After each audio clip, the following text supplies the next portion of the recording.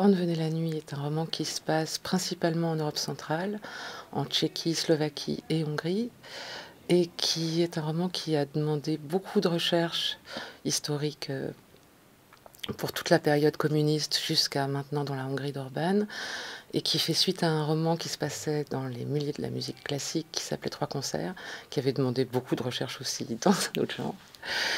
Alors Simon, lui, au début de ce livre, est dans une situation de grand embarras parce qu'il vient d'une part de se faire renvoyer de son travail et d'autre part, quasiment dans la foulée, d'être quitté par sa petite amie. Et dans un moment où l'avenir semble incertain, euh, mais que le passé euh, en promet peut-être plus, il décide de partir sur les traces de la famille de son père, qui est une famille qu'il a mal connue, et d'un père qu'il a mal connu aussi.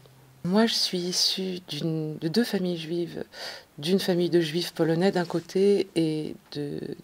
Mon père est né au début des années 30 dans ce qui était la Tchécoslovaquie, mais qui était encore culturellement l'Autriche-Hongrie. Et tout ce que mon père a pu me raconter quand il était encore vivant sur son enfance ou sa jeunesse, euh, sa mère, etc., était déjà extrêmement... Sujet à caution et ressemblait beaucoup à de la fiction parce que c'était euh, des récits qui soit se contredisaient ou alors ils se rappelaient plus, ils donnaient deux versions ou alors c'était un peu magnifié de façon un peu mégalo. Ce qui fait que c'était, pour ainsi dire, déjà de la fiction. Et d'ailleurs, je pourrais dire, euh, si je devais sous-titrer ce livre, je pourrais dire euh, d'après une histoire fausse, parce que c'était déjà un peu comme ça. Pour ce qui est de ces pays pour ce qui est des histoires que cette famille a pu vivre dans ce pays.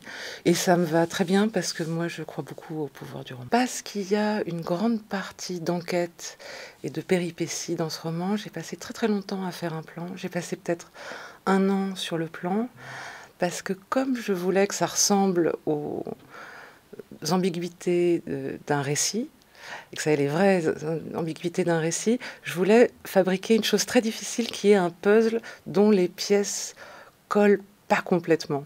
Et c'est beaucoup plus difficile de faire un puzzle dont les pièces s'insèrent pas parfaitement qu'un puzzle parfait. Mais je crois que c'est souvent comme ça quand on cherche à reconstituer des faits où il suffit d'un mot mal traduit ou d'une information qui manque pour que ce qu'on considérait comme la vérité soit complètement transformé. Et donc pour bâtir cette partie un peu policière, euh, dont je voulais aussi qu'elle soit pour le lecteur agréablement policière, avec des péripéties, avec des fausses pistes et avec des pièges, fallait que je passe le temps de construire cette petite horlogerie euh, d'enquête. Le deuxième personnage de cette histoire, c'est Ilse Kusser, qui naît dans une famille euh, à Bratislava un peu avant la guerre et qui, au moment de la période communiste euh, à son plus dur dans les années 50, va voir sa vie complètement bouleversée par une rencontre très forte avec un mystérieux juif hongrois rescapé qui s'appelle Horn. Et c'est une rencontre très brève qui va complètement bouleverser sa vie. Et peut-être que son fantôme, ce Horn, est le même fantôme que celui de Simon. On ne sait pas, mais les fantômes sont très actifs.